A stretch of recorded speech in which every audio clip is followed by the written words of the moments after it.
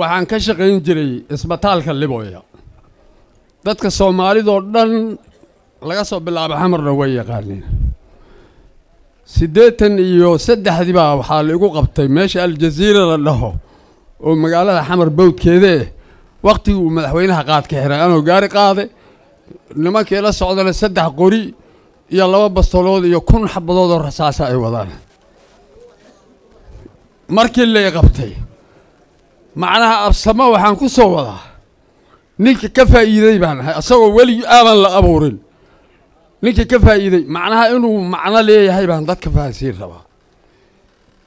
Markii lay qabtay raggii ii birmaday waxaa ka mid ahaa deeqow macallin oo madaxweynihii inafdhi ahaa barka ayade waxaa ka mid ahaa ninka ciidamada ugu sarreeyey booliiska oo ahaa aadan kuukaay waxaa ka mid ahaa aadan gabooyow oo jananka ciidamada. Ahaa waxaa ka mid ahaa ibraahim cilmooge nin la yidhaaho oo asagana beeshan kuumada. Ahaa duqi maxamed siyaad barre aha baa loo tegey.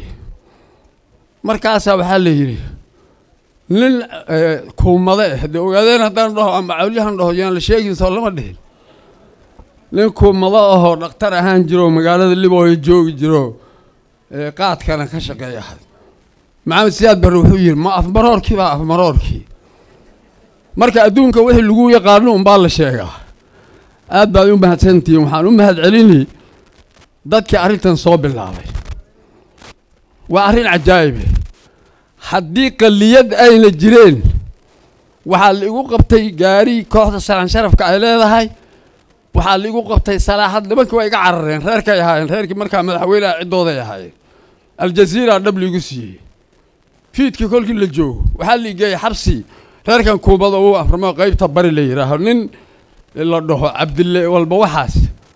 Nin nin reerka reer reeraheenna ah yaa joogay oo afartan nin ay reerka kuumada yihiin. Yaa maslaxa la ii geeyay ninkan yaa la dilin anigoon maxkamad la ii geynina waa la isoo siidaayay waxaan ku helay wadajirkii kuumada. Intaasoo idinkuma fillo. Waa idinku filanta waxaan rabnaa walaalayaalow aad baad u mahadsantihiin waxaan maqlay nin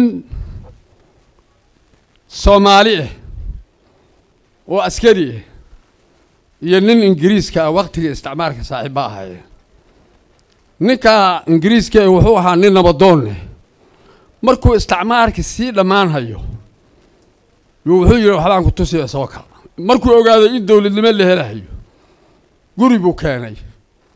Gurigii baa la furay nin afrikaanoo busti huwan oo dabada qalaalintoo hurdo ookh leh. Yuu arkay. Ninkan ma artaa maxaad ka aragtaa? Waan arkaa in la kici buu yidhi. Haddana way kiceenay guri kaloo tusay. Ninkii oo taagan oo intuu hurdada laga toosiyey haraanti iyo lagu dhuftay wejiga kaduudahayo oo le war maxaa jira? Yuu haddana tusay.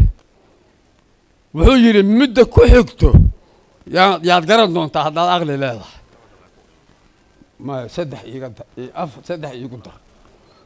Wuxuu yidhi midda ku xigto ninkii oo dhagax haysta oo dagaalahayo oo ma yeelaynaa leh duqurkii ata ah oo indho waaweyn midda ku xigtana calankii oo ku waxaa markaa ii muuqataa kuumade in uu wax noqon doono. Hadda prime minister buu joogaaye inaan etoobiyana magac ka weyn ku yeelan doono kenyana aan ku yeelan doono soomaaliyana ninkii prime minister noqday berrina madaxweyne weeyeyo arrintaa ayadee ninkii wax ka qabo macnaha waa nin hurdo oo in la toosiye u baahan. Wax kaloo sheegayna malo waxaan waxaan rabaa gabaygii sayid maxamed cabdilla xasan oo ahaa reerkii buu sheegay hadde waa sidii markaa jirtay ogaada. Madaxweyne soo iima ogolid. Ogaadeen haddaan ahay dad waa u amar sarreeyaay buu yidhi oo ubaxa baarkan iyo awrta hashimee markaa gelimays iyo baalcad iyo kasago buusa tegine qadiyadan maanta hadday jirto kuumada haddaan ahay buu dhihi lahaa. Waxyaalaha macnaha dadkii in la xasuusiyo fiican arrintan inay arrin fiican tahay. Aniga waxaan tegay hargeysa annagoo wafdi ah oo odayaal iyo gabdhaba ay isku jiraan oo eastern ka tagnay. Maalin markay noo soo hadhaa layidhi xaggee liidan geyn bal birbiri iyo saylac iyo meelaha maan sheego qabiilnimo ay diliye meeshii qaryaaweyn ahayd ee magaalada shanta kilomitir u jirtay ee sayidku uu duulaanka ka bilaabay geeyaan nimankii isaaq intay isdayaan bayba laga dareereenbo. Ardee kan waa ogaadeen? Warkiisa maxaad ka dhegaysanaysaa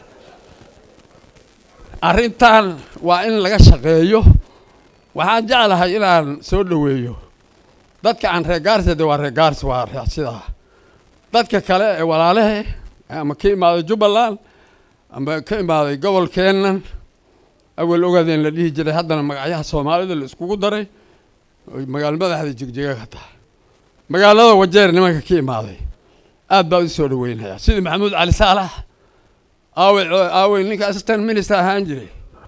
Olow waad mahadsan tahay.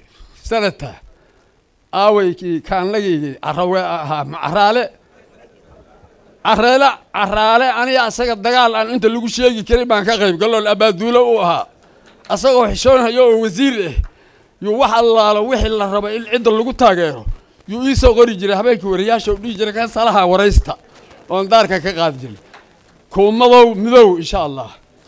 Waxaan rabnaa reeraha yaryar cabdi kuumade baalcad gelimbays ogaadeenka markii la dhex imaado naftooda kuwa yaryar baa jira meeshan baahaliyi tolmaguun baa adduunka fuuqsadeen.